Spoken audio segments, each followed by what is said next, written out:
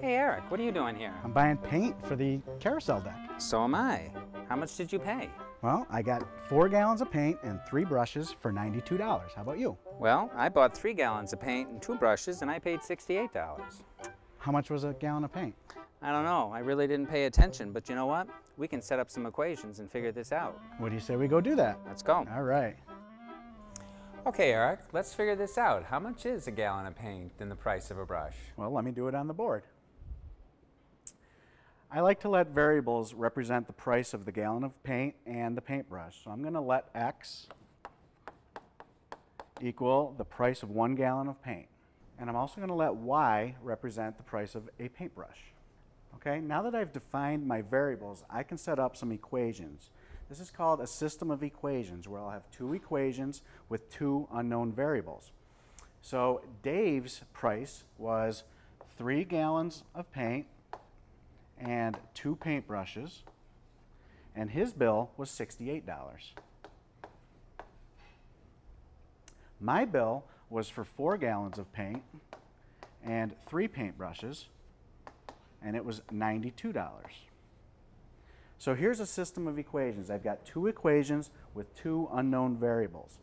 The way I like to solve these is I like to get either the x coefficients the same or the y coefficients the same, and then I can add or subtract vertically to get rid of one of the variables. In this case, I think what I'm going to do is I'm going to multiply the top one by 3 and the bottom one by negative 2, so my y's will cancel.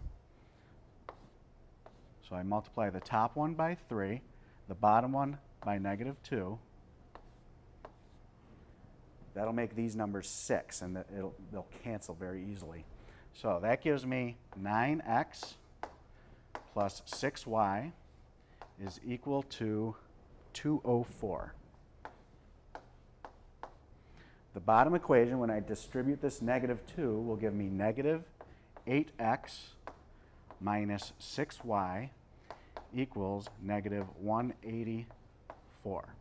As you can see, the coefficient in front of the y's are the same, so they'll cancel very easily.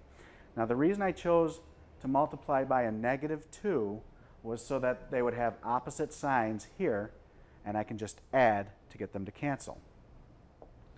So let me add like terms going down. 9x and a minus 8x will give me just a 1x. A positive 6y and a negative 6y, they cancel. This is going to be a nice problem. A 204 and a negative 184 will give me 20. So what we've just calculated is that x equals 20. Now referring back to my let statements, let's see what that means. So we now know a value of x. We know that it's 20. So 20 is the price of a gallon of paint. We're going to use that value to help us calculate the value of the price of a paintbrush. So let's go and use this 20 in either one of the original equations and see what we get for y. I'm going to pick the top equation and I'm going to replace the x with a 20. That'll give me 3 times 20 plus 2y is equal to 68. The only variable remaining is y, and y stands for the price of a paintbrush. That's 60 plus 2y is equal to 68.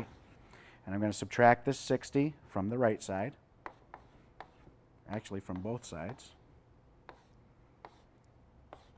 And that gives us 2y is equal to 8.